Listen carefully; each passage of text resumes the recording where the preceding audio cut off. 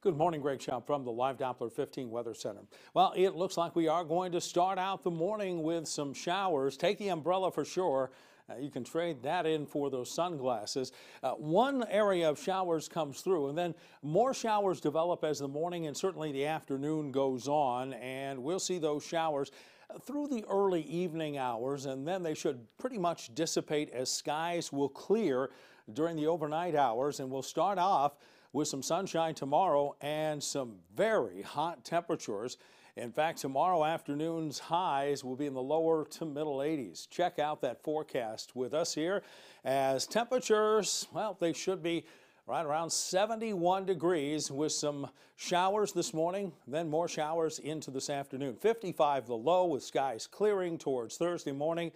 The atmospheric furnace, furnace gets stoked tomorrow with a high in the lower to middle 80s, upper 80s towards 90 with some late showers and thunderstorms Friday and some thunderstorms possible on Saturday as well.